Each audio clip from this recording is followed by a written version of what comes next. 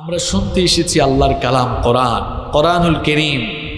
এটি কি এই পৃথিবীর আলেমুল আমাদের লেখা কিতাব? আরেকটু জুড়ে বলেন, কোরআনুল করিম যার পক্ষ থেকে নাজিল হয়েছে তিনি কে? এই কিতাবের ভেতরে কি কোনো ভুল আছে? আশ্চর্য ব্যাপার, ভুল থাকবেই বা কীভাবে? কারণ এটাকে তো এমন এক মহামহিয়ান সত্তা নাজিল করেছেন, যিনি সকল প্রকার দোষ, ত্রুটি দুর্বলতা এবং অক্ষমতা থেকে মুক্ত যে সুমহান সত্তা, তিনি কি? আল্লাহ। আপনারা অনেক সময় গল্পের বই পড়েন, উপন্যাস পড়েন।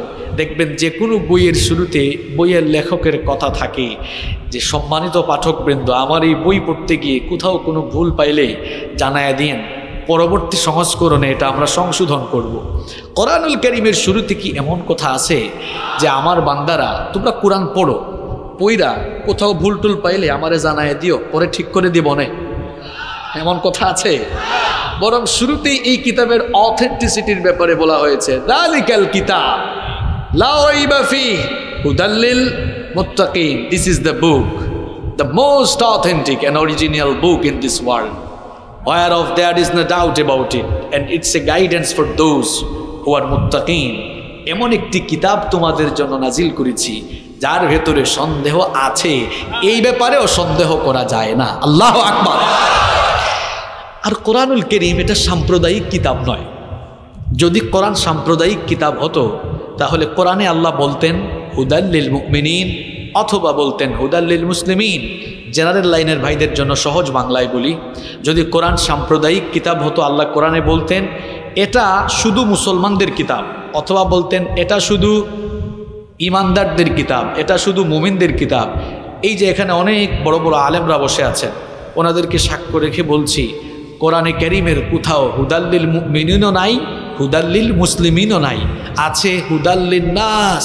আল্লাহ তালা বলছেন তাম দুনিয়ার সমগ্র মানবতার জন্য এই কোরআনকে আমি হেদায়তের একমাত্র এবং চূড়ান্ত গাইডলাইন বানিয়ে নাজিল করেছি। সুবাহান আল্লাহ পৃথিবীর যে কোনো ধর্মের, যে কোনো বর্ণের যে কোনো দেশের, যে কোনো অঞ্চলের, যে কোনো জাতিগোষ্ঠীর লোকেরা কোরআনের কাছে আসলে, কোরআন পড়লে, বুঝলে সে জ্ঞানগতভাবে সমৃদ্ধি লাভ করবে। আর যদি ইমান আনতে পারে, আর কোরআন মানতে পারে, দুনিয়া আখেরাতে সে সফল হয়ে যাবে। সোহান কোরআন পৃথিবীর অন্যান্য কিতাবের মতো কিতাব নয়। এটা এমন কিতাব, মরার পরে এই কিতাব দিয়ে ফায়সালা হবে, আপনি জান্নাতি না জাহান্নামি? মুসলিম শরীফের হাদিস নবী করিম সাল্লাহ আলাই ওয়াসাল্লাম বলেছেন আল কোরআন হজ্জাতুল্লাকা আউ আলাইক। নবীজি বলছেন, এই কোরআন কিয়ামতের দিন হয় তোমার পক্ষে দাঁড়াবে অথবা তোমার বিপক্ষে দাঁড়াবে। কোরআন যেই লোকটার পক্ষে দাঁড়াবে, কোরআন যার জন্য সুপারিশকারী হবে কোরআন, ওই কোরআনওয়ালা লোকটার জন্য তার পক্ষে আল্লাহর দরবারে, আল্লাহর সঙ্গে ঝগড়া চালায় যাবে ততক্ষণ। ওই লোকটারে আল্লাহ মাফ করে দিয়ে জান্নাতের ভেতরে ঢুকায় না যতক্ষণ। আর কোরআন কারও বিরুদ্ধে দাঁড়িয়ে গেলে একেবারে বিনা হিসাবে তারে জাহান নামে নিক্ষেপ করা হবে। তাহলে আমরা সবাই কোরআনের সুপারিশ চাই কি চাই না? আসতে বললে হবে না, আমরা সবাই কোরআনের সুপারিশ চাই কি চাই না? কোরআনের সুপারিশ পেতে হলে আপনাকে পৃথিবীতে কোরআন মানতে হবে। আপনারা স্লোগান দেন অনেক সময়, আল কোরআনের আলো ঘরে ঘরে জালো অনেকে কয়, সংসদে জালো আমি বলি, ভাই, আপনার কাছে কি বাস্তবতার জ্ঞান আছে? আপনি যে এত আবেগী হয়ে গেলেন, এই দেশে নব্বই শতাংশ মানুষ মুসলমান।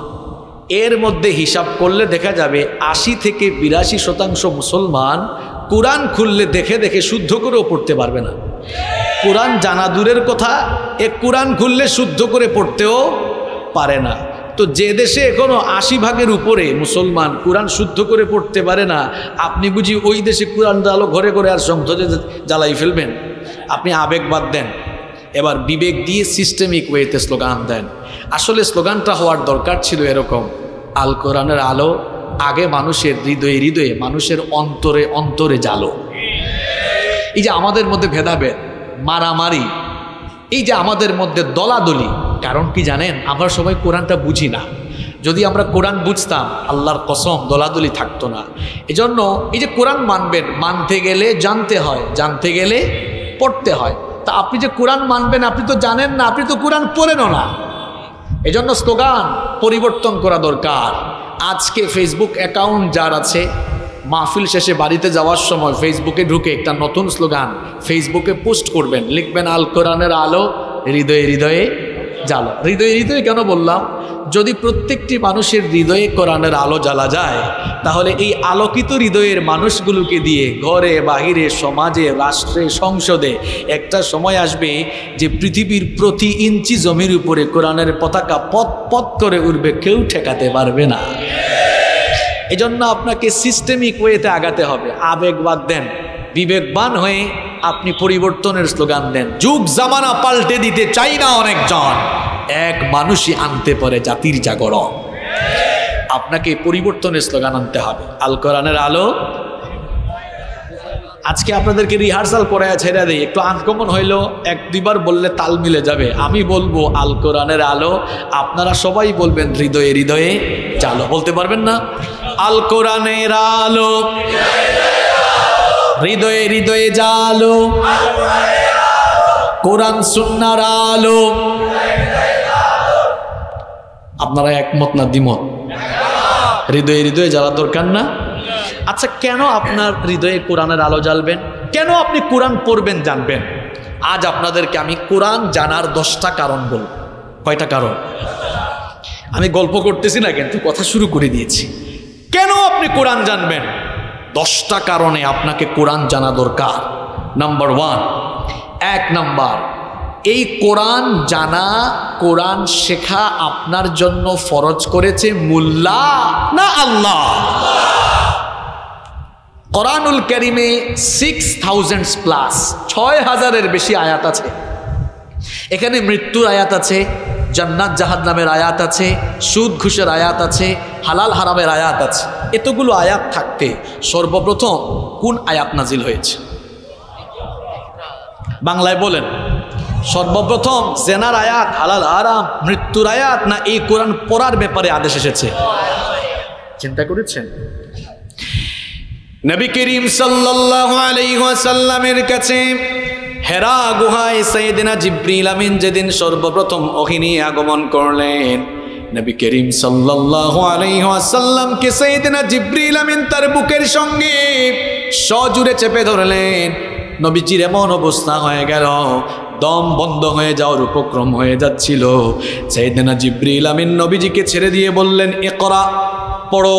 নবীজি বললেন, মা আনা বিকরিব, আমি তো পড়তে জানি না। জিব্রিল আমিন এবার নবীজিকে দ্বিতীয়বার বুকের সঙ্গে জড়িয়ে ধরে পুনরায় ছেড়ে দিয়ে বললেন এ করা নবীজি আবারও বললেন, মা আনা বিকরিব। আমি তো পড়তে জানি না। সেইদিনা জিব্রিল আমিন এবার নবীজিকে তৃতীয়বার তার বুকের সঙ্গে সজুরে চেপে ধরলেন। আল্লাহ নবীর কষ্ট হচ্ছিল। সেইদিনা জিব্রিল আমিন এবার তৃতীয়বার নবীজিকে ছেড়ে দেওয়ার পর নবীজিকে শোনায় দিলেন এ করা باسم ربك الذي خلق خلق الإنسان من علق اقرأ وربك الأكرم الذي علم بالقلم علم الإنسان ما لم يعلم الله أكبر সর্বপ্রথম ফার্স্ট টাইম নবীজির কাছে সবার আগে সর্বপ্রথম নাজিল হলো এ করা বিসমে রব্বিকাল্লাদি খলক। পড়ুন আপনার প্রভুর নামে, যিনি আপনাকে সৃষ্টি করেছেন সর্বপ্রথম। এই কিতাব কোরআন পড়ার আদেশ এসেছে কার তরফ থেকে? আপনি কি করেছেন সর্বপ্রথম? আপনি সব শিখে ফেলেছেন। এখনও আপনি কোরআন শিখেন নাই। আপনি বলেন, এটা মোল্লাদের কিতাব। এটা হুজুরদের কিতাব এটাকে আমি শিখব? হ্যাঁ এই আরবিটা আমি কেন পড়ব? আমি তো আধুনিক যুগের বিজ্ঞান মনস্ক মানুষ। আমি কেন কোরআন শিখব? মোল্লাদের এই কিতাব? Keep in your mind there is no contradiction between the holy book Quran and science কোরআনের সাথে বিজ্ঞানের কোনো দ্বন্দ্ব নেই, বরং আপনার এই বিজ্ঞান কোরআন থেকে দেড় হাজার বছর এখনও পিছিয়ে আছে। আপনি যে বিজ্ঞানের বড়াই করেন, যে বিজ্ঞানের ফুটানি করেন, আপনার বিজ্ঞান কোরআনের কাছে পুরাতন এবং পরিত্যক্ত। বিজ্ঞান এখন যা জেনেছে, কোরআন তা জানিয়েছে দেড় হাজার বছর আগে। আপনি জানবেন কেমনে? আপনি দুটা মোল্লাদের কিতাব মনে করে আপনি পড়েন নাই মিয়া। অথচ এটা হচ্ছে it's the source of knowledge and science এটা জ্ঞান বিজ্ঞানের উৎস। আমরা তো, আমি তো নিজে কোরআনিক সায়েন্স নিয়ে বিশ্ববিদ্যালয় থেকে পড়াশোনা, গবেষণা করে আসা মানুষ। আল্লাহর কালামে ছয় হাজারের বেশি আয়াত আছে। তার মধ্যে দেড় হাজার আয়াত কেবলমাত্র বিজ্ঞানের ব্যাপারে আছে। আপনি শুধু মৃত্যু আর কবর, জান্নাত, জাহান্নামের আয়াত নিয়ে পড়ে আছেন। Physics chemistry biology astronomy geology human embryology বিজ্ঞানের এমন কোন শাখা আছে, যার কথা কোরআনে নেই? আপনার বিজ্ঞান এখনও দেড় হাজার বছর পিছিয়ে আছে। কেমনে পিছাই আছে আপনারা আমি দেখাই দিই ভালো করে। আমি তো বলতে বলতে কোরআন বিজ্ঞান নিয়ে ইউটিউবে দেখবেন আমার বেশ কিছু লেকচার কোরআন এবং বিজ্ঞান নিয়ে আছে। সেখান থেকে বিস্তারিত শুনে নেবেন। এখন তো কোরআন বিজ্ঞান নিয়ে কথা বলা শুরু করলে এখানে কয়েক রাত কাটানো লাগবে। অনেক বিস্তর আলোচনা, কারণ দেড় হাজার আয়াত আছে তো। অনেক তথ্য আছে কোরআনে। দেখুন, আপনার বিজ্ঞান কোরআনের, কোরআন থেকে কত পিছিয়ে? এই পৃথিবীর শেপ কেমন? পৃথিবীর আকৃতি কেমন? এ ব্যাপারে বিজ্ঞান এক এক সময় এক এক কথা বলে, মানুষের সঙ্গে রীতিমতো তামাশা করেছে। প্রাচীনকালের বিজ্ঞানীরা বলতেন, তারা ভাবতেন পৃথিবী মনে হয় চ্যাপ্টা অথবা সমতল হবে। বিজ্ঞান ধীরে ধীরে এগিয়ে গেল। এখন তো দু হাজার বাইশ সাল। পনেরোশো সাতানব্বই সালে ফ্রান্সিস ড্র্যাক জলপথে ভ্রমণ করে বললেন, পৃথিবী আসলে চ্যাপ্টা না, সমতলও না আমি জলপথে ভ্রমণ করে দেখলাম, পৃথিবী আসলে গোল। বিজ্ঞান পনেরোশো সাতানব্বই সালে যে জায়গায় ছিল দু হাজার বাইশ সালে কি একই জায়গায় আছে? না, আধুনিক বিজ্ঞান উন্নত হতে হতে এখন স্যাটেলাইটের যুগে বিজ্ঞান প্রবেশ করেছে। পনেরোশো সাতানব্বই সালের দেওয়া তথ্য, পৃথিবী গোল, আজকের আধুনিক বিজ্ঞানে তা ভুল। পৃথিবীটা কেমন? স্যাটেলাইটের যুগে বিজ্ঞান বলল, পৃথিবী আসলে ডিম্বাকৃতির, ডিম, ডিমের সাইজ ডিমের শেপটা যেমন, পৃথিবীর আকৃতিটাও তেমন। পৃথিবীর আকৃতি নিয়ে বিজ্ঞান এক এক সময় এক এক কথা বলে বলে মানুষের সঙ্গে তামাশা করতে করতে মাত্র কয়েক বছর আগে সবচাইতে অথেন্টিক তথ্যটি দিল। আর যেই কোরআনকে আপনি মোল্লাদের কিতাব, মৌলবীদের কিতাব, হুজুরদের কিতাব মনে করে নিজেও কোরআন শিখলেন না, নিজের বাচ্চাদেরকেও কোরআন শিখালেন না ওই কোরআনে আজ থেকে আরও দেড় হাজার বছর আগে পৃথিবীর আকৃতির এই সাইন্টিফিক তত্ত্ব কোরআন নাজিল করে দিয়েছেন কে? রব্বুল আলমিন আরও দেড় হাজার বছর আগে জানিয়েছেন, ওয়াল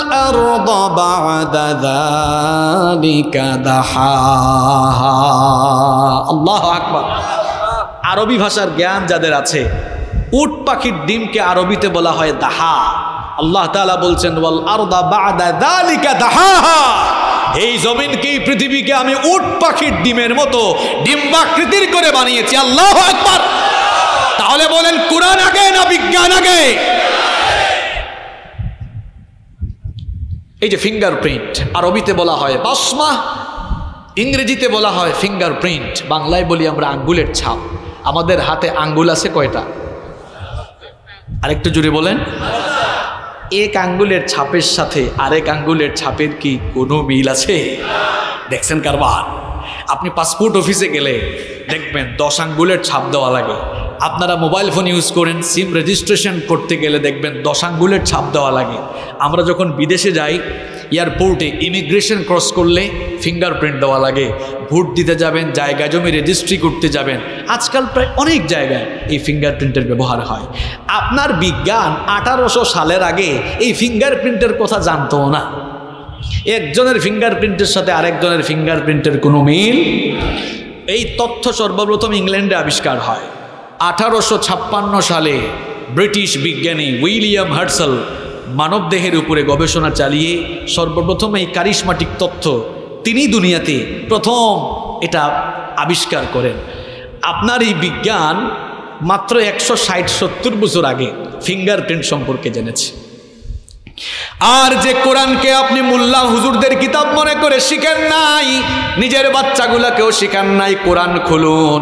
কোরআনুল করিমের পঁচাত্তর নাম্বার সুরা, সুরাতুল কিয়ামা এর তিন এবং চার নাম্বার আয়াত আপনি খুলে দেখুন।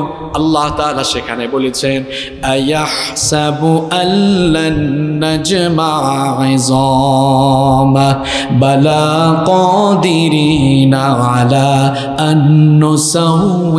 বানানা আল্লাহ তালা বলছেন, যারা ধারণা করে, যারা মনে করে, মানুষ মনে যাওয়ার পরে তার দেহ যখন পচে যাবে, গলে যাবে, মাটির সঙ্গে মিশে যাবে, তার শরীরের অঙ্গ প্রত্যঙ্গগুলো যখন ছিন্ন বিচ্ছিন্ন হয়ে যাবে, যখন তার শরীরের হাড্ডি, মাংসর অস্থি, পিঞ্জর সব যখন আলাদা হয়ে যাবে, ছিন্ন বিচ্ছিন্ন হয়ে যাওয়া, ওই সকল অঙ্গ প্রত্যঙ্গগুলোকে জোড়া লাগিয়ে কে আবার মানুষকে জিন্দা করবে?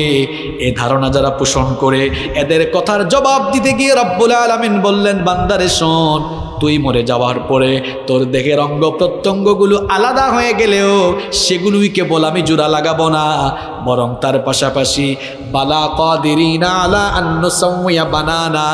বরং তার পাশাপাশি তোমাদের প্রত্যেকের হাতের আঙ্গুলের যে মাথা, এই ফিঙ্গার প্রিন্ট পর্যন্ত আমি আবার পুনর্বিন্যস্ত করব। তাহলে কোরআন আগে না বিজ্ঞান আগে? এবার চুপ থাকেন। জবাব দিয়ে সরম পাইয়েন না, লজ্জা পাইয়েন না। চুপ থেকে আপনি আপনার বিবেককে প্রশ্ন করেন। আপনি বলেছেন, বিজ্ঞান আগে নয়, কোরআন আগে। এবার আমাকে জবাব দিয়ে লজ্জা পাইয়েন না। নিজের বিবেককে প্রশ্ন করুন, আপনি শিখছেন কি আগে? এবার আবার বিবেককে প্রশ্ন করুন, নিজের কলেজার টুকরা সন্তানগুলারে শিখাইছেন কি আগে? জবাব দেওয়া লাগবে না। জাস্ট আপনার বিবেককে প্রশ্ন করুন। ওই দিন এক বাবা আমাকে বলছে, হুজুর আমার এই দুই ছেলে, একজন এ লেভেলে আর একজন অ লেভেলে চমৎকার। চমৎকার করে তারা ইংরেজিতে কথা বলতে পারে। আমি বললাম মাশাল্লাহ দ্যাটস ফাইন কয়, হুজুর, তারা আপনার সাথে ইংরেজিতে কথা বলতে পারবে। আমি বললাম, ওকে দ্যাটস ফাইন খুবই ভালো।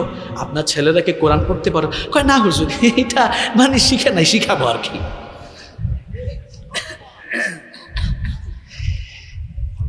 আপনি আপনার সন্তানকে ওয়া কখ এবিসিডি শেখাবেন পরে। আলিফ বা তাথা শেখাবেন সবার আগে। যদি এই সিস্টেমে পড়াশোনা না করান, আপনার ছেলে ডাক্তার হবে, ইঞ্জিনিয়ার হবে, লয়ার হবে, এসপি হবে, ডিসি হবে, সচিব হবে, হোক। কিন্তু ছোটবেলা তাকে সবার আগে কোরআন শেখাই ফেলতে হবে। এরপরে ডিসি বানান, এসপি বানান, সচিব বানান, ডাক্তার বানান, ইঞ্জিনিয়ার বানান, দেখবেন চরিত্রবান মানুষ হবে। আগে যদি কোরআন শেখায় ডাক্তার বানান, এই ডাক্তার মানবতাবাদী ডাক্তার হবে। আর যদি হে ছোটবেলা কোরআন না শিখে এরপর ডাক্তার হয়, এটা কষাই ডাক্তার হবে। ছোটবেলা কোরআন শেখায়া এরপরে ইঞ্জিনিয়ার বানাবেন, দেখবেন এটা আল্লাহওয়ালা ইঞ্জিনিয়ার হবে। আর যদি ছোটবেলা কোরআন না শিখে ইঞ্জিনিয়ার হয়, যেখানে যেখানে রড লাগে, ওইখানেই বাস ঢুকাই দিবে। ছোটবেলা যদি কোরআন শিখে তারপরে ডিসি হয়, এসপি হয়, মানুষের সেবা করবে, ঘুষ খাবে না। আর ছোটবেলা কোরআন না শিখে ডিসি, এসপি হলে ঘুষ ছাড়া কথাও শুনবে না। ছোটবেলা কোরআন শিখে সে যদি সচিব হয়, রাষ্ট্রের কল্যাণে কাজ করবে, মানুষের কল্যাণে কাজ করবে। আর কোরআন না শিখে যদি ওই জায়গায় যায়, সম্পদ বিক্রি করে জনগণ বিক্রি করে বিদেশে সে সেকেন্ড হোম বানাবে। এখন আসি আপনাদের কোথায়? মাথার ঘাম পায়ে ফেলা পয়সা দিয়ে ছেলেগুলারে এ লেভেলে ও লেভেলে পড়াবেন, বিশ্ববিদ্যালয়ে পড়াবেন। ছোটবেলা কোরআন শেখে আয়, এরপরে তারে বিশ্ববিদ্যালয়ে পাঠান এসপি ডিসি তাকে ডাক্তার, ইঞ্জিনিয়ার, লয়ার, ব্যারিস্টার বানাবেন। দেখবেন আপনার খেদমত করবে, আপনার কদর বুঝবে। আর কোরআন না শিখে তারা যাই বানাবেন, হয়তো এমনও হতে পারে keep in your mind the old home is waiting for you বৃদ্ধাশ্রম আপনার জন্য অপেক্ষা করছে। এক হাত ধরে আপনার বাড়ি থেকে বের করে দিবে। দেখেন নাই, গত বিশ পঁচিশ দিন আগে এক বাপ মারা গেছে টেলিভিশন চ্যানেলে দেখেছেন আপনারা? বাপের লাশ ঘরে থুইয়া তারা দুই ভাই জায়গা জমি ভাগ বাটুয়ারা করে। এগুলো হচ্ছে বাচ্চাদেরকে দিন, কোরআন না শিখানোর কুফল। এ কেমন বাপ, এ কেমন মা আপনি? কি সন্তান রেখে যাচ্ছেন আপনি? আপনার জীবনটাই তো মিয়া ব্যর্থ। অনেক সময় আমাদের কাছে যুবক ছেলেরা, ছাত্ররা এসে বলে, হুজুর, ডেডি মারা গেছে। তো আমি বললাম, কি হয়েছে কিছু বলবা? কই হুজুর, জানাজার নামাজটা কেমনে আদায় করে? এই হাসিয়েন না ভাই, আফসোসের ব্যাপার। এই লোকটা তার কেমন ছেলে রেখে গেল? তার ছেলেটা এখনও জানাজান নামাজ কেমনে পড়ে ওইটাও জানে না? এক ব্যাকল বেকুব বুঝেন তো আপনারা? গাছ না লাগায়া ফলের আশা করে বসে আছে। আরে ব্যাকল গাছের থেকে ফল পেতে হলে তো গাছ লাগাইতে হয়। গাছের গোড়ায় পানি ঢালতে হয়। এটার পরিচর্যা করতে হয়। তারপরে না ফল পাওয়া যায়। গাছ না লাগিয়ে ফলের আশা করা যেমন বুকামি ঠিক তেমনি সন্তানগুলারে কোরআন, হাদিস দিন না শিখাইয়া ওই সন্তানের কাছ থেকেও খেদমতের আশা করা মারাত্মক বুকামি। জীবনের সফলতা কোথায়? আপনি মারা যাবেন। ভাড়া করা হুজুর না। আপনার ছেলে, ডাক্তার, ইঞ্জিনিয়ার, অসুবিধা নাই। আচ্ছা আলেমরা বসে আছেন। জানাজার নামাজে ইমাম হওয়ার জন্য কি বড় আলেম হওয়া লাগে? যদি আপনার ছেলে বিশুদ্ধ কোরআন তেলাওয়াত জানে, নামাজের মাসালাগুলো জানে, শুদ্ধভাবে নামাজ আদায় যদি জানে, ইমাম হতে পারবেন বরং তার ওলি হিসাবে তো সে সবচেয়ে বেশি হক, সবচেয়ে বেশি হক তার এখন দেখেন ব্যাপারটা। মনে করেন একজন লোক মারা গেল, একজন আলেম জানাজা করছে। আর আরেকজন মারা গেল, তার ছেলে জানাজার নামাজে ইমামতি করছে। দুইজনের আবেগ কি একরকম হবে? নিজের ছেলে যখন জানাজার নামাজে ইমামতিতে দাঁড়াবে, জানাজার নামাজের প্রত্যেকটা তাকবির দিবে আর চোখের পানি ছাড়বে। কলিজাটা তার কেঁপে উঠবে। বলেন, এই বঙ্গোপসাগর, আটলান্টিক মহাসাগর, প্রশান্ত মহাসাগর, গোটা দুনিয়ার সাগর, মহাসাগরের পানি ঢাইলা দিয়া কবরে জাহান নামের আগুন নেভানো যাবে? সন্তানকে দিনদার বানায় যান। এই সন্তানকে দিনদার বানায় যাবেন, এই সন্তান জানাজার নামাজে দাঁড়ায়া যখন চোখের পানি ছাড়বে, দুই ফুটা চোখের পানির পাওয়ার কত বেশি? এই দুই ফুটা পানি নাকের ডগায় গড়ায় আসার আগেই, এই দুই ফুটা চোখের পানি দিয়ে আল্লাহ আপনার কবরের জাহান নামের আগুনকে চিরতরে নিভাইয়া দিবেন। এটা তো জীবনের সফলতা। কি বানাইছেন ছেলে মেয়েগুলারে ছেলে মেয়েগুলারে আপনি দিনদার বানাইয়া যান। নইলে কবরে গিয়া যে কি অবস্থা হবে, কল্পনাও করতে পারবেন না। কবর খুব ডেঞ্জারাস জায়গা, মারাত্মক জায়গা। যে নরম নরম বিছানায় আপনি ঘুমান, আরে বাপরে বাপ, কবরে খালি মরে দেখেন না, মানুষ মাটিতে কাদার মধ্যে আপনারে শোয়া দিবে। এই যে বৃষ্টির দিন শুরু হচ্ছে, এখন কবর খুললেই নিচ থেকে কি উঠবে? বলবে না কি? চৌধুরী সাহেবকে একটু টাইলস করে তারপরে বিছনা টিসনা দিয়ে দাও। যত বড় চৌধুরী হন, বলবে ফালায়াথ ঠিক কি না? এটা সাড়ে তিন হাত। এই যে জায়গা দখল করতে করতে আপনার পেট ভরে না, আপনার জায়গা তো মাত্র সাড়ে তিন হাত। এর চেয়ে বেশি না, কত জায়গাওয়ালা, জমিওয়ালা, সব জায়গা জমি রেখে দিয়া কবরে ওই সাড়ে তিন হাতের ভিতরেই আছে। ঠিক কিনা বলেন? কোরআনওয়ালা হন কেন আপনি কোরআন জানবেন? এক নাম্বার পয়েন্ট বলছিলাম, কোরআন শিখা আপনার জন্য নফল। হ্যাঁ? জোরে বলতে হবে। কোরআন শিখা আপনার জন্য? এই স্কুল কলেজের ছাত্ররা, শোনো, তোমরা যে সব শিখে ফেললে, তোমরা খুব ফটর ফটর করে ইংরেজিতে কথা বলতে পারো। প্রমিত বাংলায় যশোরের মানুষ তো এমনিতেই খুব শুদ্ধ বাংলায় কথা বলে। আমার বাড়িতে সিলেটে, আমরা, আমাদের সিলেটি মানুষ সবাই কিন্তু শুদ্ধ বাংলায় কথা বলতে পারেন। আমাদের ভাষা বড় সাংঘাতিক। আপনারা বলেন, কেমন আছেন? আপনাকে সিলেটে পেলে বলবে, ভাই সাব বালা আসেননি আপনি? আমাদের ভাষাটা এরকম। আপনারে বলবে, ভাই সাহেব, আউকা, খাউকা, বউকা, জাউকা।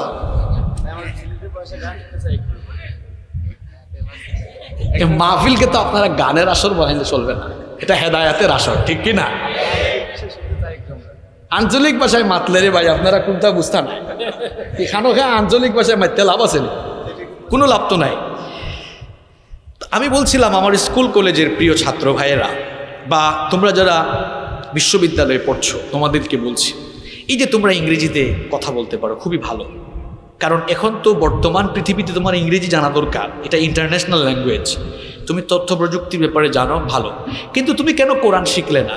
তোমরা কোরআনের ব্যাপারে কোরআনের ব্যাপারে এত গাফেল কেন? তোমরা যারা ইন্টারমিডিয়েট পাশ করেছ এইচএসসি তোমরা বিশ্ববিদ্যালয়ে চান্স পাওয়ার জন্য ছয় মাস, সাত মাস ঢাকায়, যশোরে কোচিং করো। বিশ্ববিদ্যালয়ে চান্স পাওয়ার জন্য। আর যারা মাস্টার্স অনার্স শেষ করে ফেলেছো, তোমরা তো বিসিএস ক্যাডার হওয়ার জন্য। মোটেও আমরা তোমাদেরকে অনুৎসাহিত করছি না। কিন্তু আমার প্রশ্ন হলো, ভাই, তুমি বিশ্ববিদ্যালয়ে চান্স পাওয়ার জন্য বিসিএস ক্যাডার হওয়ার জন্য যদি ছয় মাস, এক বছর একটানা কোচিং করতে পারো, শয়তান তোমারে কোন জালে আটকাইলো যে তুমি কোরআন জানো না, একটু কারও কাছে গিয়ে এক দুই মাসে কোরআন শিখবা, কোরআন পড়বা, শয়তান তোমার কেমনে আটকাইলো? নিজের বিবেককে প্রশ্ন করো। আর কেউ আমার চাচা জানেরা, আমার বাবার বয়সী সম্মানিত চাচারা কি? বয়স তো কম হইল না রে বাবা। এখনও কোরআন পারেন না কেন আপনি?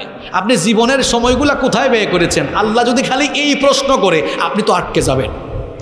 কারণ আমরা তো কোরআন পড়ি। আপনি পড়েন, আপনি আপনার মতো পড়েন। আলহামদুলিল্লাহ রাব্বিল আলামিন। এটা আলহামদু না আলহামদু? এটা আলামিন না আলামিন? অ্যারাবিক ল্যাঙ্গুয়েজ এটা এমন। আপনি যদি হরফ উচ্চারণে লেটার উচ্চারণে সামান্য বিচ্যুতি ঘটান অর্থের বিকৃতি ঘটে যায়। মাখরাজ, উচ্চারণ প্রনাউন্সিয়েশন যদি সামান্য একটু ব্যতিক্রম হয়, কোরআনের অর্থ বদলে যায়। যেমন উল্হু আল্লাহ আহাদ এটা কফ, নোক্তা বিশিষ্ট কফ। আপনি যদি উল্হু আল্লাহ আহাদ বলেন, ঠিক আছে, অর্থ হবে, হে নবী, বলুন, আল্লাহ এক, অদ্বিতীয়। আর কফের জায়গায় যদি কাফ মারেন, বলেন কুলহু আল্লাহ আহাদ হুজুর অর্থ কি হয়? যে আল্লাহ একজন, উনারে ধৈরা খাইয়া ফেলা। দেখেছেন? সামান্য প্রোনাউন্সিয়েশনে ত্রুটি থাকলে অর্থ বিকৃতি হয়ে যায়। তা আপনি কোরআন শেখান নাই কেন বাবারা? আমার যুবকরা সিদ্ধান্ত নাও। এই যে বছরে একটা মাহফিল করলা এবার সিদ্ধান্ত নাও ওই দিন টেকনাফে ছাত্ররা মাহফিলের আয়োজন করল, টেকনাফ। আমি ছাত্রদেরকে বললাম যে, তোমরা একটা উদ্যোগ নাও, এই এলাকায় একটা বয়স্ক কোরআন শিক্ষা কেন্দ্র করো। এটা শিক্ষা প্রতিষ্ঠান, রাজনৈতিক প্রতিষ্ঠান না।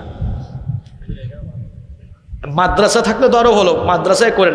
খালি যে আমরা মাদ্রাসায়, মাদ্রাসার ছেলেদেরকে পড়াই, আমাদের উচিত সবগুলো মাদ্রাসায় এরকম বিশেষ বিশেষ কোর্স চালু রাখা, যাতে এই জেনারেল ছেলেগুলো এখানে গিয়ে পড়াশোনার বাইরে সন্ধ্যাকালের সময় ইভিনিং টাইমে অথবা মর্নিং টাইমে এরা যেন কোরআন শিখতে পারে। এটা হলে ভালো হইতো না? আমার বয়স্ক বাবারা যারা আছেন, ছাত্ররা কোরআন শিখতে পারবে। যারা পারেন, এই উদ্যোগটা হাতে নেবেন। এই কাজটা যারা করতে পারবেন আমার মনে হয় এটাই আপনার জান্নাতে যাওয়ার কারণ হয়ে যাবে। কারণ একটা কোরআন শিক্ষা কেন্দ্র চালু হবে, এখান থেকে শত শত ছেলেরা আমার বাবারা কোরআন শিখবেন। এই যে এতগুলো মানুষ কোরআন শিখলো, কবরে গেলে তো আপনি বলতে পারবেন, আল্লাহ, আর কোনো ভালো কাজ নাই। একটা কাজ ভালো, আমারে মাফ করে দাও। আল্লাহ কি মাফ করে দিতে পারেন না? এই কাজটা করা যাবে? কষ্ট হচ্ছে আপনাদের? তাহলে কোরআন কেন জানবেন? কয়টা কারণ বলব? দশটা। বলছি কয়টা? ভয় পাইয়ের না, বাকিগুলা ছোট ছোট। প্রথমটা একটু বেশি বড়। এক নাম্বার, কোরআন শেখা আপনার জন্য ফরজ করেছেন। কে? নাম্বার টু দুই নাম্বার, এই জন্য আপনি কোরআন শিখবেন। আপনি যে পাঁচ ওয়াক্ত নামাজ আদায় করেন, নামাজ ফরজ না নফল?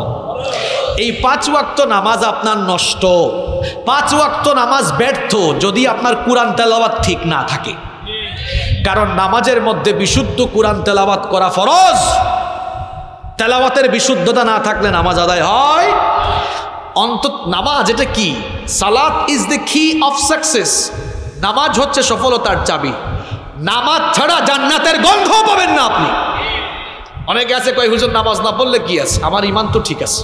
তো ইমান থাকলে না ইমান ঠিক থাকবে? ইমানই তো নাই, ঠিক আর থাকবে কি? একটু দাঁত ব্রাশ করে না, কয়, আমার মুখ পরিষ্কার।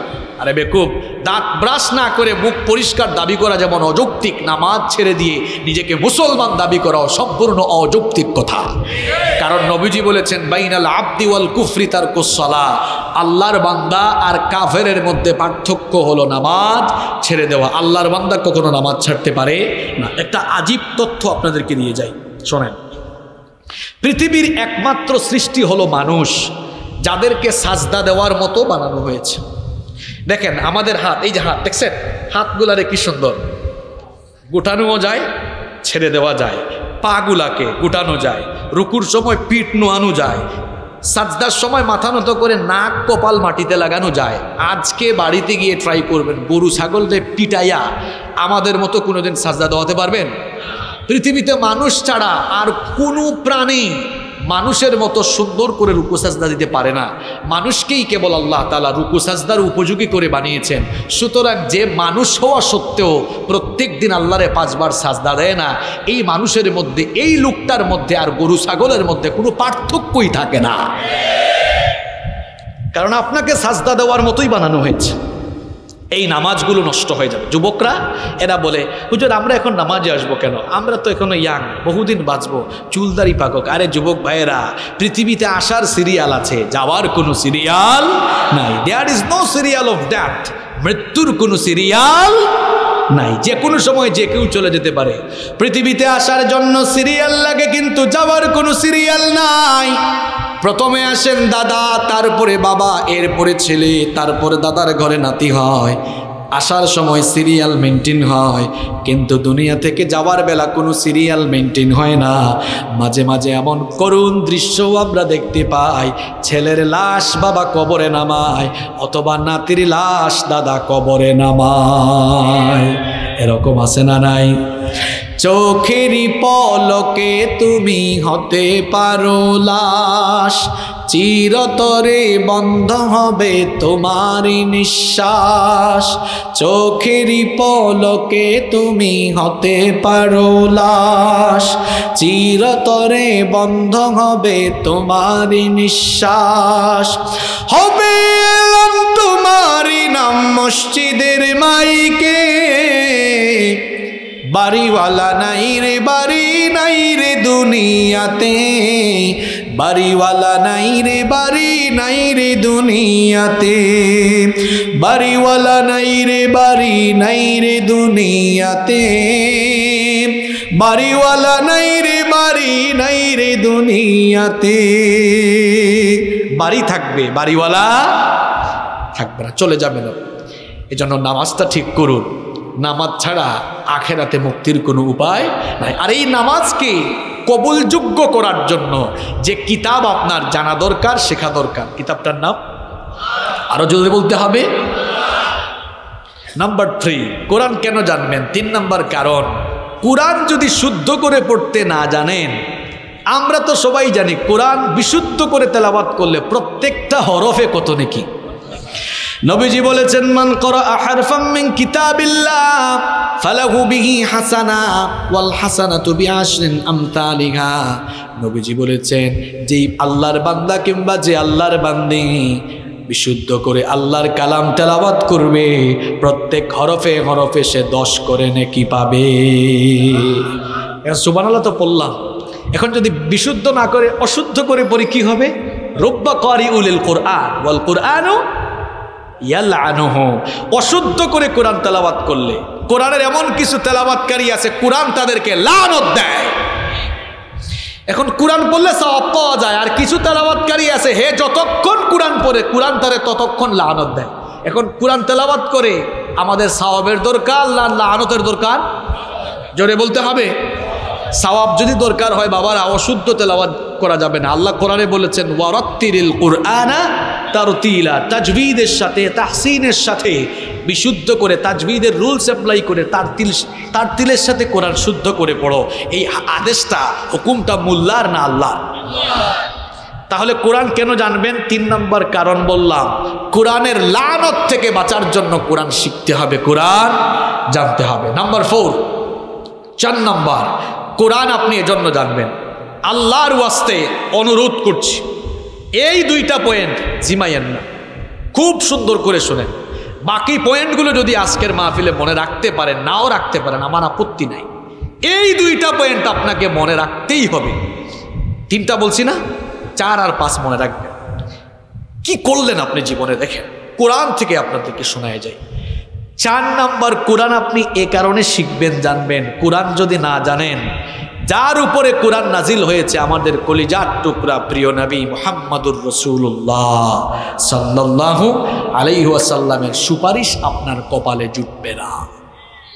নবীজির সুপারিশ ছাড়া কিয়ামতের দিন জান্নাতে যাওয়া যাবে? তাহলে আমরা সবাই নবীজির সুপারিশ চাই কি চাই না?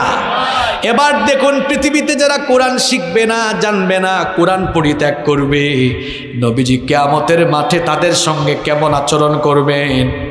রব্বুল আলমিন কোরআনুল করিমের পঁচিশ নম্বর সুরা, আমি সুরা নাম্বার, আয়াত নাম্বার বলে দিচ্ছি, বাড়িতে গিয়া মিলাবেন। কোরআনুল করিমের পঁচিশ নম্বর সুরা সুরাতুল ফুরকানের তিরিশ নম্বর আয়াত রব্বুল আলমিন বললেন وقال الرسول يا رب إن قوم اتخذوا هذا القرآن مهجورا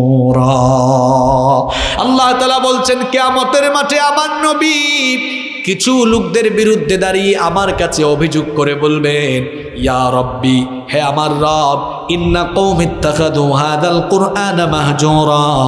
আমার উম্মতের এই লোকগুলো দুনিয়াতে কোরআন পরিত্যাগ করেছিল, কোরআন পড়ে নাই, জানে নাই মানে নাই। এরা দুনিয়ায় কোরআনকে পরিত্যাগ করেছিল, এজন্য আজ হাসরের মাঠে আমি তাদেরকে পরিত্যাগ করলাম। এরা দুনিয়ায় যেভাবে কোরআনকে ভুলে গিয়েছিল, আজ হাসরের মাঠে আমার এই উম্মতগুলোকে, এই লোকগুলোকে আমি ভুলে গেলাম। নবী যদি বলেন, আমি তোরে ত্যাগ করলাম। কে বাঁচাবে আর আপনাকে? আপনি আমাকে বলেন। আপনার কোন নেতা, আপনার কোন হুজুর আপনারে বাঁচাবে আর? কারণ কিয়ামতের দিন নবীজির সুপারিশ ছাড়া জান্নাতে যাওয়ার কোনো উপায় থাকবে? নবীজির সুপারিশ পেতে চান? চার নম্বর কারণ বললাম। কোরআন জানবেন, নবীজির সুপারিশ পেয়ে যাবেন ইনশা পাঁচ নম্বর পয়েন্টটাও মন দিয়ে শুনেন। কোরআন যারা জানবে না, কোরআন যারা শিখবে না, রব্বুল আলমিন কেমতের দিন কবর থেকে লোকগুলোকে অন্ধ করে তুলবেন। আমার বাবারা, আমার ভাইয়েরা এই মহাবিশ্বে সব কিছু ধ্বংস হয়ে যাবে যা কিছু আছে সব কিছু একদিন লণ্ডভণ্ড চূর্ণ বিচূর্ণ মেসাকার হয়ে গিয়ে ধ্বংস হয়ে যাবে কেবল একজন থাকবেন তিনি কি কুল্লুমান আলাইহা ফানি ওয়ায়াবকা ওয়াজহু রাব্ব ربك ذو الجلال والإكرام فبأي آلاء ربكما تكذبان আল্লাহ তালা বলছেন সব কিছু ফান হয়ে যাবে সব কিছু ধ্বংস হয়ে যাবে কেবলমাত্র মহামহিয়ান একজন সত্তাই অবশিষ্ট থাকবেন জুড়ে বলেন তিনি কি ইসরাফিল আলাইহিসালাম সিংহায় ফুৎকার মারবেন আসমান জমির লন্ড ভণ্ড চূর্ণ বিচূর্ণ হয়ে ধ্বংস হয়ে যাবে। কবর থেকে মানুষগুলোকে তোলা হবে। এই দুনিয়াতে যারা কোরআন না শিখে, কোরআন না জেনে, কোরআন না মেনে দুনিয়া থেকে চলে যাবে, দেখা যাবে কেয়ামতের মাঠে তাদেরকে অন্ধ করে উঠাবেন কি? রব্বুল আলমিন কোরআনুল করিমের বিশ নম্বর সুরা সুরাত এর একশত চব্বিশ নম্বর আয়াতের শেষাংশে বললেন ওয়ানাহ সুরহ আমা। আমি তাদেরকে অন্ধ করে কবর থেকে উঠাবো কেয়ামতের মাঠে এমনও তো হতে পারে এই বাঘার পাড়ার কেউ কেউ ওই কাতারে থাকতে পারে। আমরা দোয়া করছি, আমরা কেউ যেন ওই কাতারে না থাকি। বলেন আমিন। ওই কাতারে যারা পড়ে যাবে, এরা তখন বলবে, ওগো আল্লাহ, আমি তো চশমা ছাড়া দুনিয়াতে খুব ভালো চোখে দেখতাম।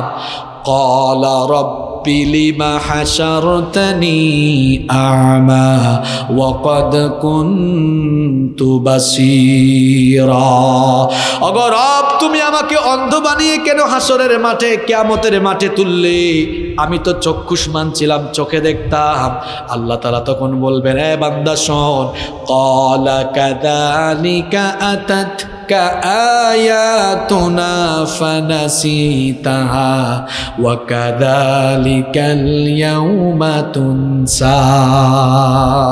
আল্লাহ তালা বলবেন মান্দারে তোর ঘরে তো আমার কুরআন ছিল, আমার কিতাব ছিল। আমার কিতাব চোখ তাকিতে দেখলে না, অন্ধ হয়ে গেছিল। এই জন্য তোরে অন্ধ করে তোলাম। আর শোন, দুনিয়ায় তোর ঘরে তোর সমাজে, তোর মসজিদে, তোর আশেপাশে আমার কিতাব কোরআন থাকা সত্ত্বেও তুই কোরআনকে ভুলে গিয়েছিলে। দুনিয়ায় তুই আমার কিতাবকে যেমন ভুলে গিয়েছিলে। আজ হাসরের মাঠে তোর মতো গুলামকেও আমি আল্লাহ ভুলে গেলাম। আল্লাহ আকবর। কি সাংঘাতিক কথা, কি ডেঞ্জারাস কথা। আল্লাহ যদি বলেন, তোর মতো গুলামকে হাসরের মাঠে আমি ভুলে গেলাম, কে বাঁচাবে আপনাকে আর? কে রক্ষা করবে জাহান নামের আগুন থেকে?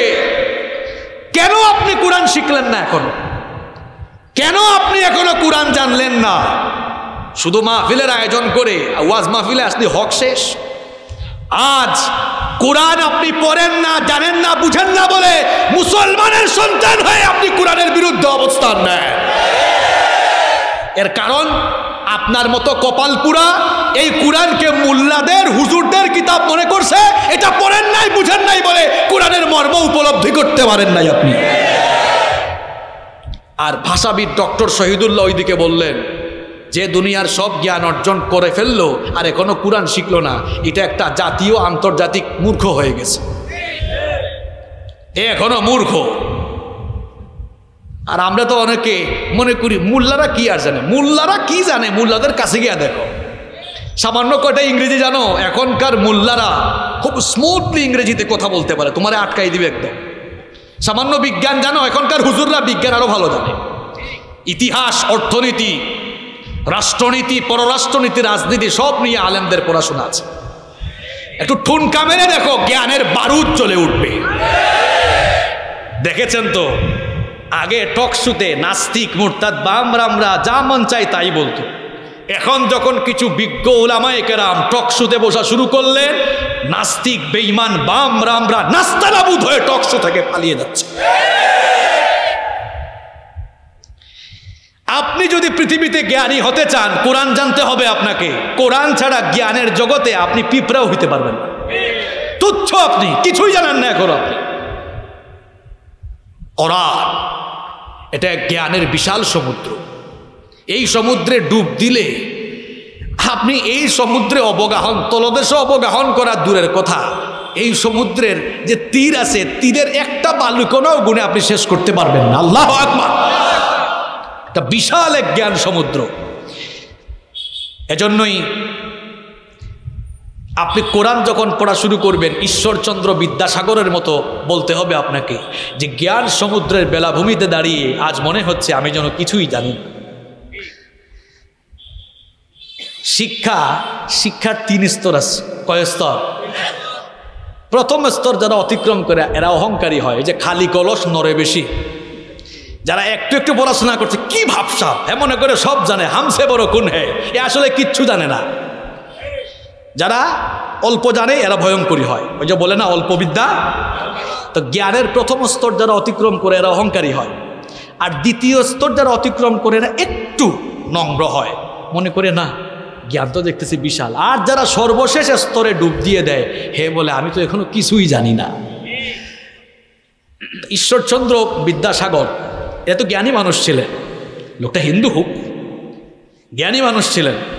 এজন্য জ্ঞানী মানুষের কথা জ্ঞানী মানুষের মতোই হয়। কি বলেছে দেখেছেন? যে জ্ঞান সমুদ্রের বেলাভূমিতে দাঁড়িয়ে মনে হচ্ছে, এখন কিছুই জানি না। আর আমরা সামান্য যাই না মনে করি, আরে বাপ রে বাপ, আর কিছু মানুষ তো আছে মুল্লা দেখলেই চলে আবু জেহেল নবী দেখলে জ্বলতো। এখন নবীর উত্তরসূরি আলেমরা, আর আবু জেহেলের উত্তরসূরি হয়েছে কিছু আবু জেহেল মার্কা ভাইরাস। এখন নবী দেখলে আবু জেহেলের জ্বলতো আর নবীদের উত্তরসূরি আলমদেরকে দেখলে আবু নাতি পুতি ছেলা চামুন্ডাদের গায়ে জ্বালা পুরা শুরু হয়ে যায়। মোল্লা ভালো লাগে না কেন? মোল্লা ভালো লাগে না কেন? মোল্লা যদি ভালো না লাগে, তোর মা বাপকে গিয়ে জিজ্ঞেস কর, তোর মা বাপের বিয়ে কে পড়াইছে? যেমন কুকুর, তেমন মুগুর দরকার। যে যেমন তার জন্য ভাষাও তেমন দরকার। এজন্য বলেছে, তোর মা বাপকে গিয়ে জিজ্ঞেস কর, তোর মা বাপের বিয়ে মোল্লা ছাড়া কে পড়েছে? মোল্লা ছাড়া তো তোর মা বাপের বিয়ে বৈধ হইতো না। তোর মোল্লা ভালো লাগে না। কিছু মানুষ আলেমদেরকে সহ্য করতে পারে না। ওলামাই কেরাম, ইন্নাল আম্বিয়া। এদের ডিগনিটি জানেন আপনি? এদের মর্যাদা জানেন আপনি? এরা হচ্ছেন নবী নবীগণ আম্বিয়া আলাইহিমুসালাম গণের ওয়ারিস সুবাহান আল্লাহ পড়ে। আল্লাহ তালা আল্লাহ তালা আমাদের সবাইকে আলেমদের বন্ধু, আলেমদের সাথী বানান। হয় আপনি কোরআনের জ্ঞানে জ্ঞানী হন, নইলে যারা কোরআনের জ্ঞানী তাদেরকে সম্মান করুন, এদের সুহবতে থাকুন, তাহলে আপনি ভালো থাকতে পারবেন, ইনশা আল্লাহ আমাদের সবাইকে হেদায়তের উপর অটল রাখো। কষ্ট হচ্ছে আপনাদের? কোরআন কেন জানবেন? আজকে এই বিষয়ে কথা বলতেছি। কারণ আপনি মানবেন তো পরে, ভাই, আপনি তো জানেনই না এখন। আগে জানেন, এরপরে মানিয়েন। পাঁচ নম্বর কারণ বললাম, কোরআন না শিখলে আপনাকে আল্লাহ তালা আখেরাতে, কেয়ামতের মাঠে আল্লাহ তালা আপনার কাছ থেকে মুখ ফিরাই দিবেন। জাহান্নামের শাস্তি ছাড়া আর কিছুই কপালে জুটবে জাহান্নাম থেকে বাঁচতে চান না কে কে হাত তুলেন ইস, কয়েকজন কুতুব আছে অমনোযোগী। আল্লাহর কুতুব কয়েকজন অমনোযোগী আছে, যারা না বুঝেই হাত তুলে। জাহান নামে যেতে চান আপনারা? জাহান নামে যেতে চান না তো? জান্নাতে যেতে চান তো? কোরআন জানার দরকার আছে না নাই? নাম্বার সিক্স আর কষ্ট দিব না আপনাদেরকে। দশ মিনিট থাকতে পারবেন না? হ্যাঁ দুইটা পর্যন্ত তারপরে ফজরের নামাজ কাজা করেন। কে বলছে? আপনি? বিজ্ঞান তো বলে পঁয়তাল্লিশ পঞ্চাশ মিনিটের বেশি মানুষের মাথা আর সব কাজ করতে পারে। জন্য আমরা অল্প জানব নবীজি খুব লম্বা কথা বলতেন না। খুব অল্প কথা। এক বিদায় হজের ভাষণটা দেখবেন, খুব ছোট্ট। কিন্তু এই ভাষণের ভাবার্থ এমন, এটা নিয়ে হাজার হাজার লক্ষ লক্ষ কিতাব লেখা যাবে। ঠিক কি না? বলব অল্প, কথা বলব কম, কাজ করব। বলব কম, কাজ করব। পারব তো ইনশাল্লাহ। এই জন্য বলছি বেশি আবেগ না। অল্প অল্প শুনব। মনে রাখব সেগুলো আবার কাজেও লাগাবো। বেশি বেশি শুই না, যদি কিচ্ছু মনে না থাকে, এই শোনারও কোনো দাম থাকবে। নাম্বার সিক্স ছয় নাম্বার, কোরআন আপনি এই জন্য শিখবেন। এজন্য আপনি কোরআন জানবেন। কারণ এই কোরআন ছাড়া কোরআন ছাড়া যে কোনো দেহ, যে কোনো বাড়ি, এটা বিরান দেহ, বিরান বাড়ির মতো। যেখানে কোরআন নাই, বিরান বাড়ি বুঝেন তো আপনারা। ছাড়া বাড়ি ছাড়া বাড়ি আপনারা কি বলেন আঞ্চলিক ভাষায়? জি? কি বলে ভাই? ছাড়া বাড়ি যাই হোক, আপনারা তো প্রমিত বাংলায় ভাই। আমার যশোরের মানুষের ভাষা খুব সুন্দর লাগে। আপনারা খুব ভালো লাগে, বুঝছেন? মানে আপনার মাত খুব সুন্দর। মাত মানে কথা আর কি। আমরা সিলেটে মাত বলি। আমার মাত বুঝুননি আপনারা? ওকে। কোরআন কেন জানবেন? কোরআন ছাড়া দেহ বিরান দেহ। কোরআন ছাড়া গড় বিরান গৃহ। কোরআন ছাড়া শিক্ষাঙ্গন বিরান শিক্ষাঙ্গন। এখন শিক্ষাঙ্গনগুলোতে সব পড়ানো হয়, কোরআন, হাদিস পড়ানো হয় না। ধর্ম শিক্ষা যেটা ছিল, ওইটাকেও বোর্ড পরীক্ষা থেকে বাদ দেওয়া হয়েছে। ধর্ম শিক্ষাকে যখন আপনি বাদ দিবেন, ওই সমাজ আর জাতি দিন দিন খালি চরিত্রহীনতার দিকে ধাবিত হবে। শিক্ষাঙ্গনগুলো হয়ে যাবে মদ, গাজা, ইয়াবা, বাবা, বাবাখুরি গাজাখুরি রাস্তানা আর যদি শিক্ষাঙ্গনে সিলেবাসের সাথে কোরআন, হাদিস অ্যাড করে দিতে পারেন, এই ছেলেগুলো, এই মেয়েগুলো যখন ডিগ্রি নিয়ে বের হবে, পড়াশোনা শিখে উচ্চ শিক্ষিত হয়ে যখন তারা বের হবে, একদিকে শিক্ষিত হবে, অন্যদিকে চরিত্রবান হয়ে তারা বের হবে। নইলে মাঝে মাঝে যে দেখা যায় সেঞ্চুরি টেঞ্চুরি মাইরা দেয়, এইরকম হবে। আর যদি কোরআন, হাদিস থাকে সেঞ্চুরি মারবে না, বরং তাহাজুদ গুজারি হয়ে বের হবে। ঠিক কি না তাহলে ছয় নম্বর বললাম, কোরআন শিখবেন এই জন্য, মুক্তির জন্য কোরআন শেখা লাগে। সকল মুক্তি কোরআনে আছে না নাই? ওয়ানাজ্জালনা আলাইকাল কিতাবা তিবিয়ানাল লিকুল্লি শাই। কি দরকার কোরআনে? সব দিয়ে দিয়েছেন কি? মা ফাররাতনা ফিল কিতাবি মিন কিতাবে কোনো কিছুই বাদ দেওয়া হয় নাই। কয়টা বললাম? ছয়টা। ছয়টা বলছি। উল্টা পাল্টা লাগান কেন বাবা? সাত নাম্বার, এই জন্য আপনি কোরআন শিখবেন। কারণ হচ্ছে, এই কোরআন ছাড়া আপনি হেদায়াত পাবেন। রব্বুল আলমিন বলছেন, হাদা বায়ানুল্লিন্নাসি ওয়া হুদা ওয়া মাউইজাতাল লিল মুত্তাকিন এটা হচ্ছে মানুষের জন্য সুস্পষ্ট একটি বর্ণনা। এটা হচ্ছে মানুষের জন্য হেদায়াত সম্বলিত এবং উপদেশ সম্বলিত কিতাব। সুবহানাল্লাহ।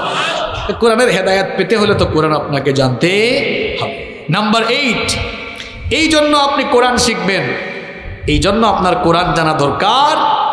কারণ হচ্ছে এই কোরআন এই কোরআন এমন একটি কিতাব, যে কিতাব না শিখলে, না জানলে কেয়ামতের মাঠে আল্লাহ স্পেশালি জিজ্ঞাসিত করবে কথাগুলো আমার না আল্লাহ রব্বুল আলামিন কোরআনুল কারীমের 43 নম্বর সূরা সূরাতুজ জুখরুফের 44 নম্বর আয়াতে বলছেন, ওয়া ইন্নাহু লাযিকরুল লাকা ওয়া লিকওমিকা ওয়া সাওফা তুসআলুন। আল্লাহ তাআলা বলছেন, হে নবী, নিশ্চয়ই এই উপদেশ সম্বলিত কিতাব আপনার জন্য আর আপনার উম্মতের জন্য উপদেশ। এই কিতাব যারা শিখবে না সৌফাতুস আলুন অবশ্যই কিয়ামতের দিন এ ব্যাপারে আমি তাদেরকে জিজ্ঞাসিত করব। আপনি আসামির কাঠগোড়ায় দাঁড়িয়ে যাবেন। আসামির কাঠগোড়া থেকে বাঁচতে হলে কোরআন আপনাকে শিখতে হবে, জানতে হবে। নাম্বার নাইন, এই জন্য আপনি কোরআন জানবেন। এই জন্য আপনি কোরআন শিখবেন। কারণ কোরআন যদি আপনি না শিখেন, কোরআন যদি আপনি না জানেন, তাহলে আপনি জান্নাত উপযোগী জীবন সাজাতে পারবেন না। কোরআন আপনাকে জান্নাতের পথ দেখাবে। কোরআন যদি আপনি না জানেন, জান্নাতের পথ কেমনে দেখবেন? এখানে তো কোরআন নাই। মানে দেখাই দাম দেখানো লাগবে না, আপনারা তো জানেন। এই যে আমাদের বাসা বাড়িতে আছে প্রিন্টেড কোরআন, তাই না? ছাপা কোরআন না? প্রিন্টেড কোরআন। আর আমার নবী ছিলেন প্র্যাকটিক্যাল কোরআন। সুবাহান আল্লাহ পড়েন। এখন আপনি প্র্যাকটিক্যাল কোরআন হতে পারবেন, যখন আপনি প্রিন্টেড কোরআনটা ভালো করে পড়বেন, জানবেন। আপনি তো জানেনই না এই জন্য দেখা যায়, হে নামাজেও সামনের কাতারে সুদ খাওয়ার বেলায় সামনের কাতারে থাকে। হে নামাজেও সামনের কাতারে ইসলাম বিরোধীদের সাথে কাঁধে কাঁধ মিলাইয়া ইসলাম বিরোধিতায় হে সামনের কাতারে থাকে। এর কারণে তো কোরআন বুঝে না এখনও। এত ফটকা। তো কোরআন জানে না। অমূর্খ। এখনও কোরআন জানে না। আমরা মনে করি আমরা মনে করি যে যেই লোকটা নাম লিখতে জানে না, পড়তে জানে না, এ মূর্খ। আসলে সবচেয়ে বড় মূর্খ যে কোরআন জানে না যে। কোরআন জানতে হবে। কোরআন ছাড়া আপনি জ্ঞানের আলো কখনো জ্ঞানের আলোর বিচ্ছুরণ ঘটাতে পারবেন। নাম্বার টেন দশ এবং সর্বশেষ হচ্ছে। এই জন্য আপনি কোরআন শিখবেন। এই কিতাবটা সাফায়াতকারী, সুপারিশকারী কিতাব। নবীজি বলেছেন আল কোরআন ফামান জাআলাহু আমামাহু কাদাহু ইলাল জান্নাহ। ওয়ামান জাআলাহু খালফাহু কাদাহু ইলান নার নবীজি বলেছেন, কোরআন হচ্ছে এমন সুপারিশকারী, এমন সাফায়াতকারী এমন সাফায়াতকারী কিতাব, যেই কিতাবের সুপারিশ কেয়ামতের দিন কবুল করবেন কে? কোরআন যারা দুনিয়াতে পড়বে, শিখবে, জানবে, কোরআন অনুযায়ী যারা জীবন চালাবে, কেয়ামতের দিন এই কোরআন আল্লাহর দরবারে তাদের জন্য সুপারিশ করে ওই লোকগুলোকে আল্লাহর জান্নাতের মেহমান বানায় দিবে। জান্নাত কি আপনার মামু বাড়ি? যে সারা জীবন আপনি কোরআনের বিরোধিতা করেন। সারা জীবন আপনি রাসুলের আদর্শের বিরোধিতা করেন। আর কবরে ঢোকার সময় কি সুন্দর দোয়া। বিসমিল্লাহি ওয়ালা মিল্লাতি রসুল ভাই এরকম অর্থ কি এটা? বিসমিল্লা আল্লাহর নামে। ও আলা মিল্লাতি রসুলিল্লাহ রাসুল্লাহর দলে। আপনি কারে রাসুলুল্লাহর দলে উঠাই দিয়ে যাচ্ছে এ তো যতদিন পাচ্ছে ততদিন রাসুলের আদর্শের লোকদেরকে সুযোগ পাইলেই পিটাই আর মামলা দিছে। সুযোগ পাইলে এদেরকে এদেরকে কষ্ট দিয়েছে। যেই লোকটার জীবন, যৌবন, সারা জীবন রাসুলের আদর্শের লোকদের কোনো কাজেই লাগে না, এর মোরাল আসেরও আমার নবীর কোনো দরকার নাই। এজন্য নবীজির সুপারিশ চাইলে আপনাকে কোরআন জানতে হবে। কোরআন এমন এক কিতাব, এটা আপনাকে জান্নাত পর্যন্ত পৌঁছে দিবে সোমান আল্লাহ পড়েন।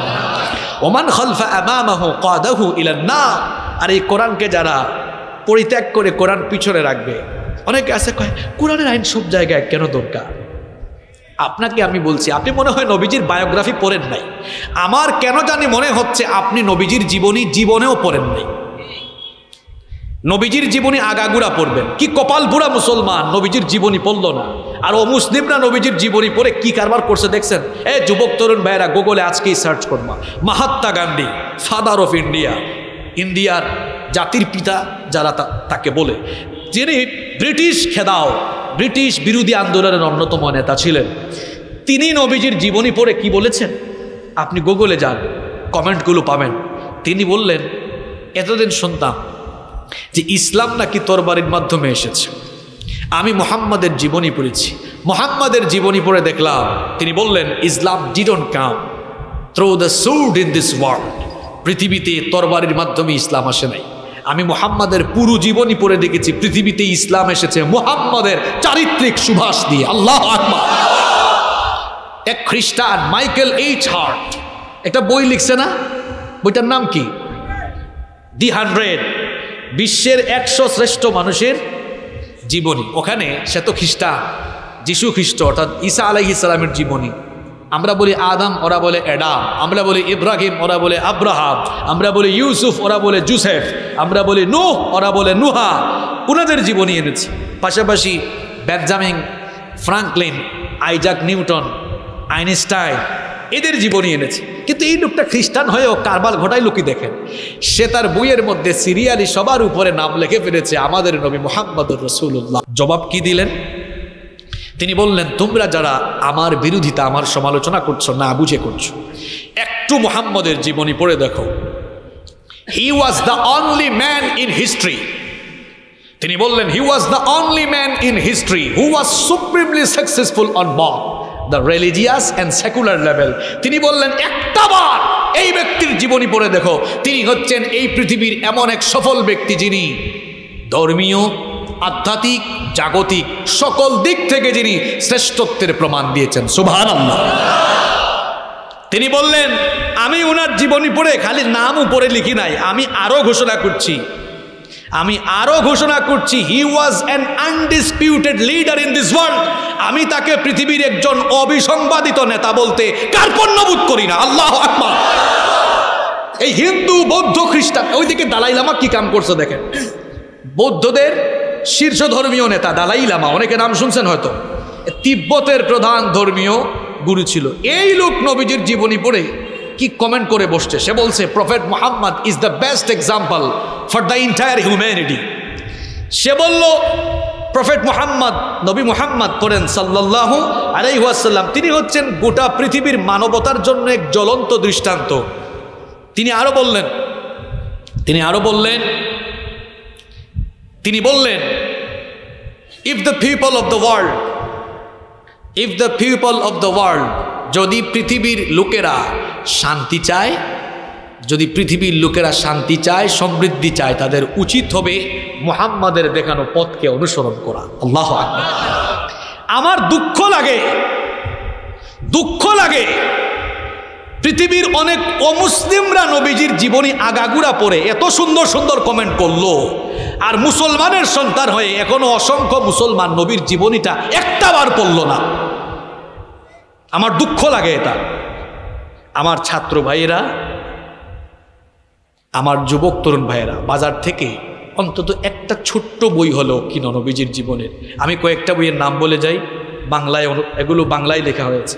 এবং এই বইগুলো অথেন্টিক আলেমরা এখানে আছেন। যেমন আর রাহিকুল মাহতুম পড়তে পারেন, দুই আড়াইশো টাকা দাম। সিরাতুন নাবি একটা বই আছে, সিরাত ইবনে হিসাম আছে রাহমাতাল্লিল আলামিন। এরকম অনেক সিরাতের বই আছে। যুবক ভাইয়েরা, ছাত্র ভাইয়েরা, একটা বই এই সপ্তাহের ভেতরে কিনে। কুরআন নাজিলের মাস, রমজান মাসে এই বইটা পুরাটা, নবীর পুরা জীবনী। আমরা একবার পড়তে পারব ইনশাল্লাহ? কারা কারা পারবেন, একটু হাত তুলে আমারে দেখান তো। আমারে না, আল্লাহরে দেখা। আল্লাহ কবুল করেন। হাত তো তুলছেন, দেখি কে কোন বইয়ের নাম মনে রাখছেন? বলেন, কে কোন বইয়ের নাম মনে রাখছেন? বলেন। আচ্ছা এক একজন এক এক বইয়ের নাম বলতেছে, অসুবিধা নাই, যে কোনো একটা পড়লেই তো কোরআন কেন জানবেন? একেবারে নবীর মতো যদি আপনি জীবন সাজাতে চান, কোরআনের আলোকে কোরআন জানতে হবে। আজ মুসলমানদের জীবন আর কোরআন আলাদা। মানে কোরআনের সাথে আমাদের জীবন মিলে না। এটা কোরআন না জানার কারণ। প্রিয় ভাইয়েরা, তাহলে কোরআন কেন জানব? কয়টা পয়েন্ট বলেছি? জুড়ে বলতে হবে, কয়টা? সবাই কোরআনটা পড়বেন তো? বিশুদ্ধ করে শিখবেন তো? দুই দিন পরে একটা মাস আসতেছে। মাসটার নাম কি? মাসটার নাম কি? রমজানের গান দিয়ে শুরু করছিলাম না? রমজান। এই রমজান মাসটা দামি মাস কিসের কারণে? আরেকটু জোরে বলতে হবে। কোরআন নাজিলের এই মাসে সবাই কোরআন শিখবেন তো? বেশি বেশি কোরআন পড়বেন তো? তারাবির নামাজ পড়বেন না তাড়াতাড়ি করবেন? এখন তো তারাবিশ তামাশা চলে। আলহামদুলিল্লাহ সোরাফাতে শেষ করছে। এরপরে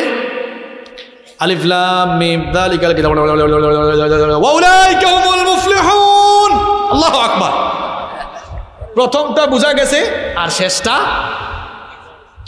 বোঝা গেছে। মাঝখানে যে কি পড়ছে?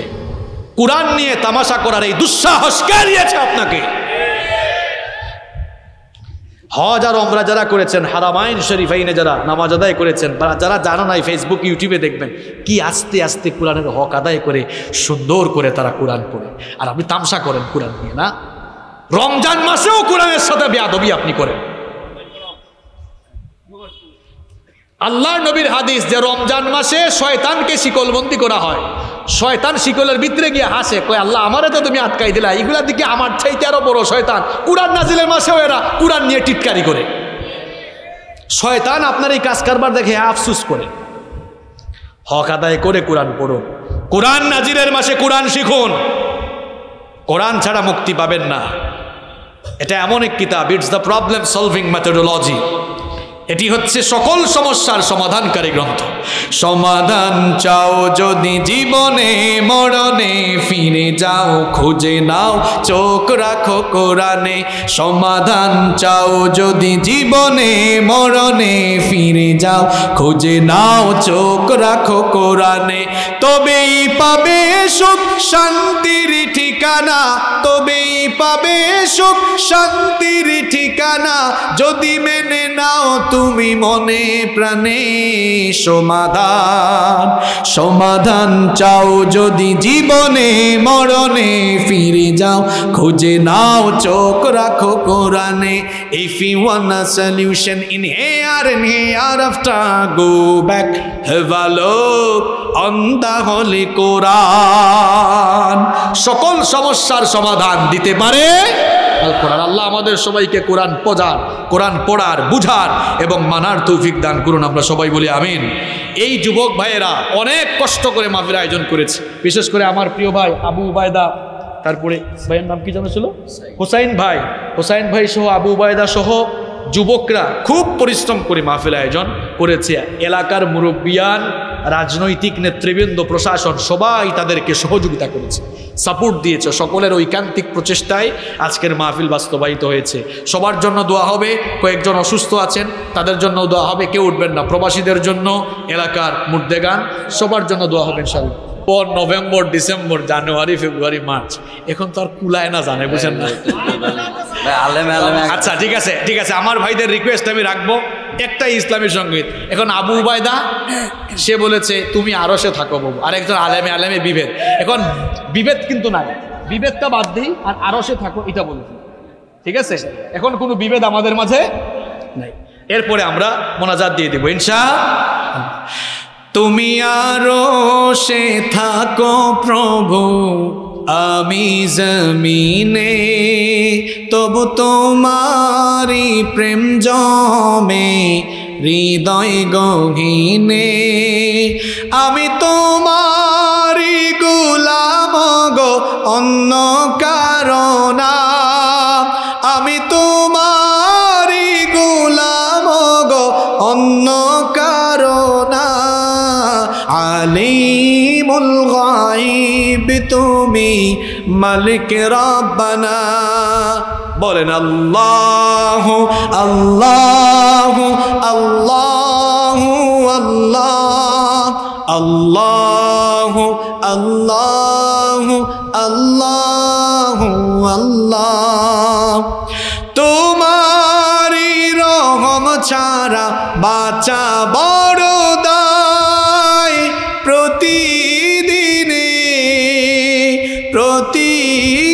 প্রতিক্ষণে জড়িয়ে রাখো গো আমায়। শত শত ভুল মাফ করে দাও, আগুনে ফেলে দিও না। আমি তোমারি গোলাম গো, অন্য কারণা আলিমুল তুমি মালিক রব্বানা আল্লাহ আল্লাহ আল্লাহ আল্লাহ আল্লাহ আল্লাহ আল্লাহ আল্লাহ